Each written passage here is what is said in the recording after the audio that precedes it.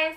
I've been getting a lot of people asking me questions about Josh, like if I have an update, do I know where he's at? Do I know what he's doing? Has he tried making contact with me? Has he came back to Michigan? So I figured I would answer a few of these questions for you as well as show you basically what I've been dealing with when it comes to him. So first and foremost, I do not know his exact location, but as far as I know, he is not in Michigan. And that's just based on social media posts that other people have showed me and based on where the phone calls I get from him come from. So with that being said, yes, he has been making phone calls to my phone. I've been getting several phone calls from all kinds of different Texas numbers, but as soon as one of the numbers calls me, I will block it so that way he can't call from that number again. But i'm assuming he has like a array of people he's around. So he's able to get a hold of a bunch of different phones. So he calls me from all kinds of different texas numbers. But then he also calls from unknown.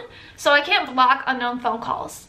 So when he calls from unknown it comes through no matter what. But of course i don't answer any phone calls that are unknown or that come from Texas or that I just don't know in general. Like you, it could be a Michigan phone number and I still wouldn't answer because I don't know who it is. Basically, I just don't answer the phone calls because I don't even want to get involved.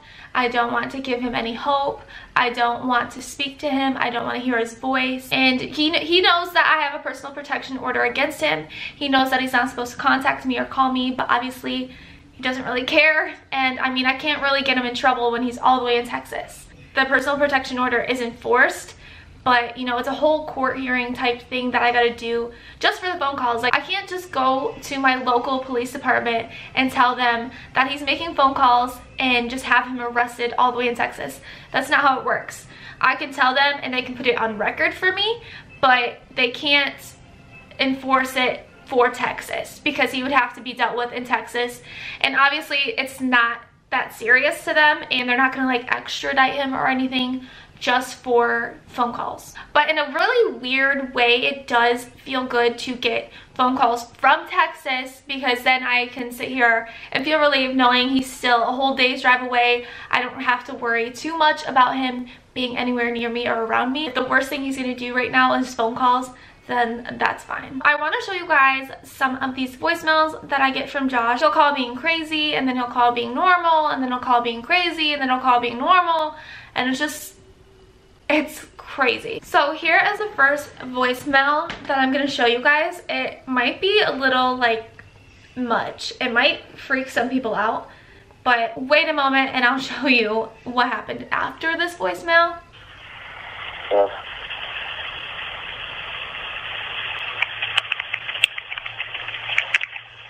time, I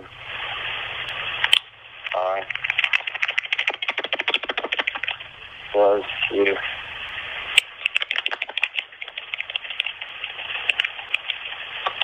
Well, I always love you. Goodbye. So in this voicemail, he is basically trying to make me think he's dying, he's overdosing, he's making those shaking noises with his hand. He wasn't dying, he wasn't overdosing. I got this phone call in the middle of the night actually. He left a second voicemail right after that. I must have been a butt dial and you can't hear very well, it's pretty quiet, but you can hear that he has the phone not on his ear and that he is talking completely fine to somebody literally minutes later. Right now. Yep, that's correct. Go walk over to that window. Go walk over to that window. Go walk over to that window. Like you can hear him talking fine, clear as day.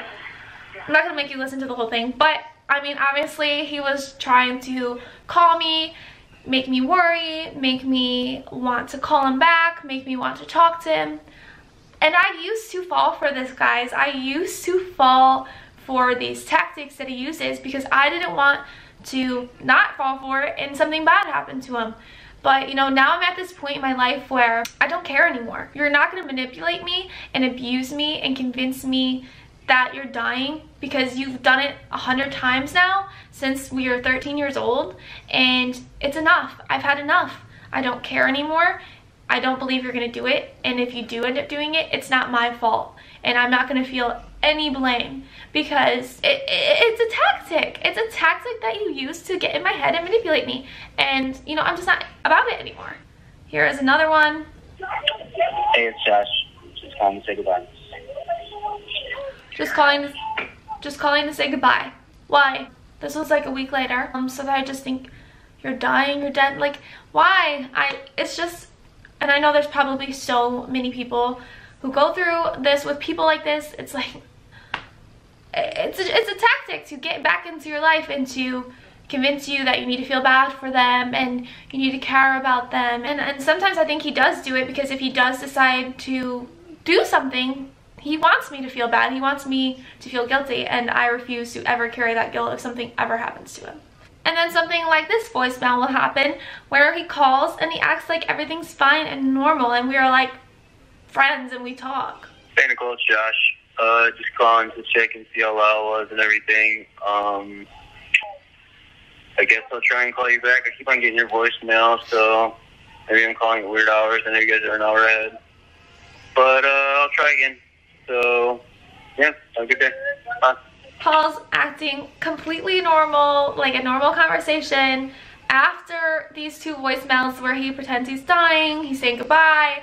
Like, it's just really, really weird and it's crazy and it's annoying. Like, at this point, it's annoying. It used to be overwhelming. I used to bawl my eyes out and beg for him to answer the phone and beg for him to tell me where he's at and beg for him to go to a hospital, beg for him to get help. And I'm just over it. I'm not, I'm not about that no more. I'm just, I'm over it.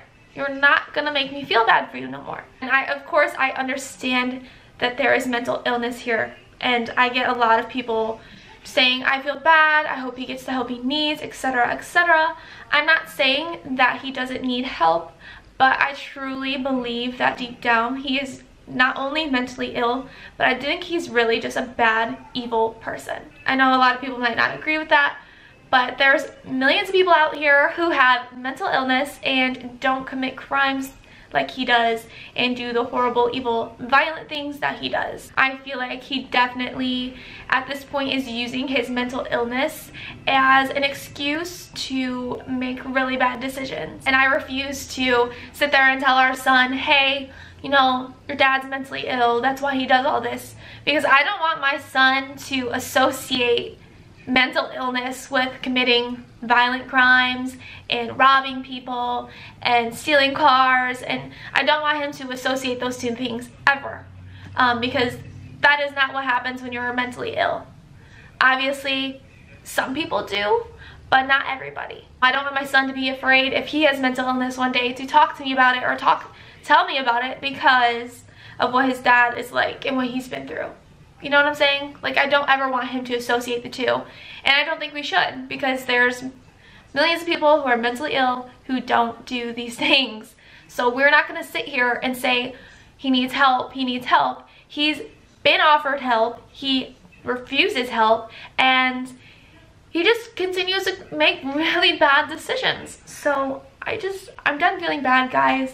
I don't know where he's at. I don't care anymore but I'm just, you know, I, I'm, ready to move and to feel safe and to just be in a new position in life and completely move on from him. I'm sure it won't be long before he ends up back in jail just because I know he's out here making really bad decisions, doing drugs, all those type of things again. So it's only a matter of time, guys, before something bad happens to him and he's dead or in jail. And I, I mean, that's a really sad thing to say. He's Lyle's dad. I feel awful for Lyle, but I can't change the fact that he's his dad. I didn't know when I was 15 years old that this guy was going to end up being so freaking crazy. Okay, I just didn't know. But, you know, we've dealt with it the best we can.